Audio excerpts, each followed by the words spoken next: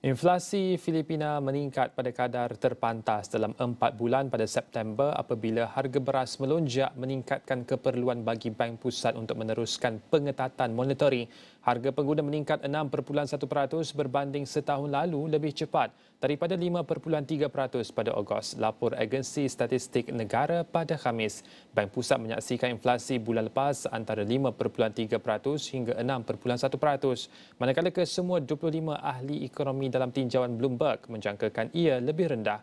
Inflasi beras melonjak kepada 17.9% tahun ke tahun, lebih dua kali ganda daripada 8.7% pada Ogos walaupun selepas Presiden Ferdinand Marcos Jr. mengehadkan harga beras selama hampir sebulan. Purata kenaikan harga keseluruhan 9 bulan ialah pada 6.6%, jauh melebihi sasaran Bank Pusat.